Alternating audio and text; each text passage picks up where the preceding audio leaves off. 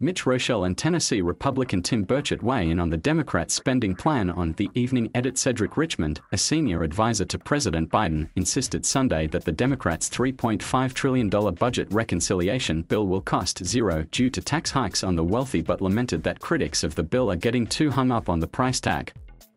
At the end of the day, Chris, I think what's important for people to understand is that this piece of legislation costs zero, he said.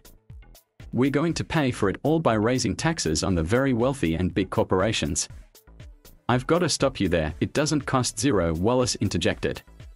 Now, you can pay for it either by borrowing it or you can pay for it by raising taxes on corporations or the wealthy, but it doesn't cost zero. Richmond continued, at the end of the day it will cost zero because we're going to pay for it.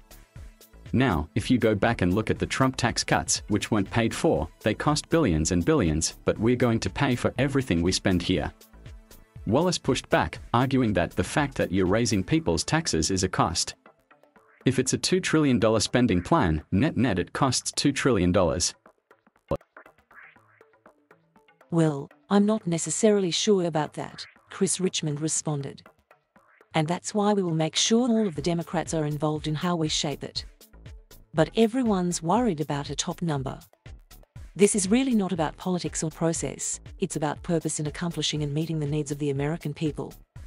Moderate Democrats were outraged Friday after House Speaker Nancy Pelosi, D. declined to bring the bipartisan infrastructure bill to a vote, hoping to buy more time for negotiations with progressive Democrats, who have vowed to vote against the bill if it does not move in tandem with the $3.5 trillion reconciliation bill.